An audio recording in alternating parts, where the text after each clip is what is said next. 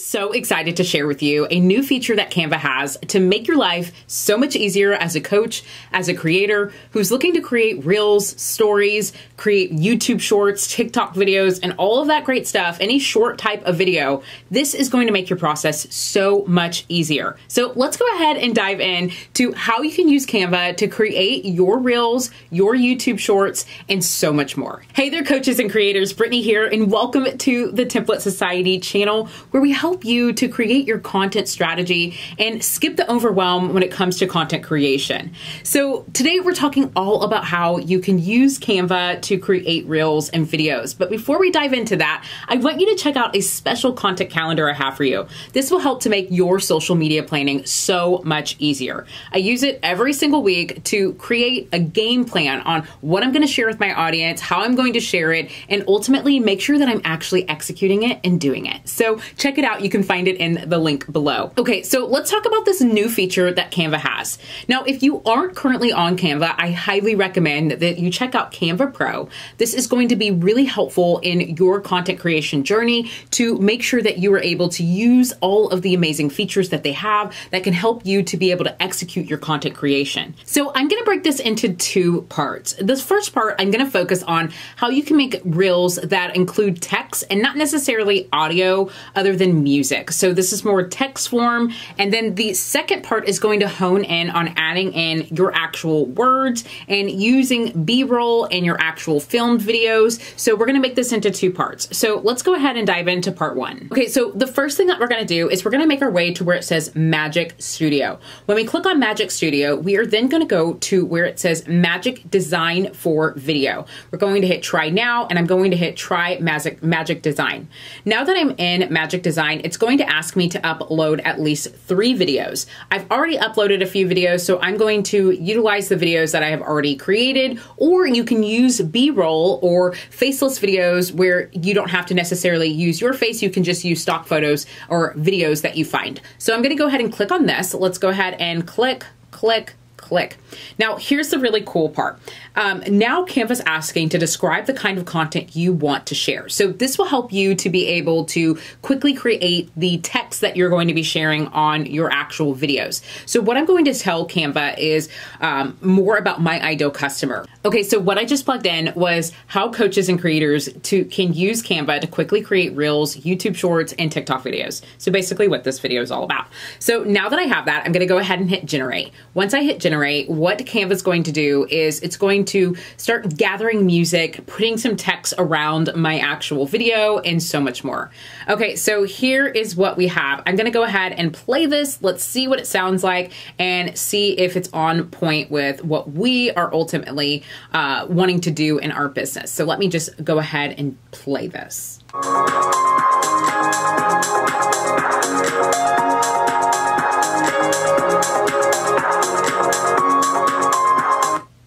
Okay, so that's not too bad, but what we want to do is make this more on brand. So what I'm going to do is I'm going to grab, I'm going to go to one of the, the actual um, shorts that it created. I'm going to click on the text. I'm going to make this more my brand. So currently right now, um, let's go to effects. Let's go ahead and change the background. Let's make this instead of outline, let's just go ahead and make this more of a background. And then let's pick a color that's on brand. So I'm going to go ahead and select this right here.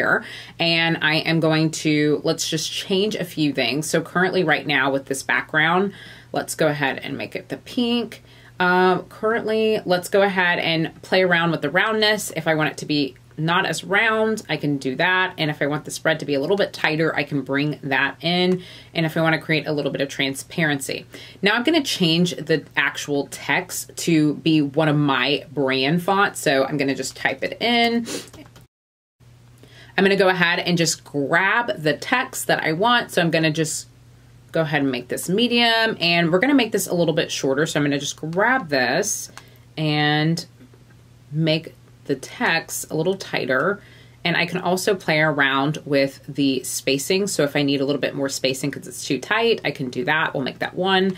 And then right now in the background, I can just get rid of that if it's not on brand. And here we go. Now, there is currently a um, merge animation that's taking place. I might not want this animation. I might want to do something completely different. So if that is the case, what we're going to do is change it to our preferred. So here's something I can do. I can drift it in. I can breathe it in. I think I'm going to do a breathe in or rise in. So let's do breathe in. Okay, so now that I have that, um, we can go and do that for all of the different videos, but ultimately, um, that's how you're going to go about changing this to really be more on brand and really connect more with your audience. Okay, so now that we have this, let's think about the music because this music was not it for me, right? So it was a little bit more not my style. So what I can do is go to elements. When I click on elements, I can go to music and let's look for some fun music that's fun and upbeat. So I'm going to type in fun upbeat music. Okay, so what I'm going to do is I'm going to go and grab this music and I'm going to delete this and I am going to grab the new music that I want to bring in. So let's go ahead and just drag this down. We'll grab that this since it's a little bit longer. Okay, so now what we're going to do is we're going to click on Beat Sync. This is going to help to make sure that it connects with our video and ultimately kind of just comes on at the right time. So we're gonna go ahead and turn that on and I am going to make this a little bit shorter, which is just my logo at the end. And now I'm going to also turn down the sound. I just wanna make sure that it's not too loud. So I'm gonna turn it down a little. It's at 100 and we're gonna make it let's say 60. Okay, let's go ahead and start from the beginning and see what it's looking like. Here we go.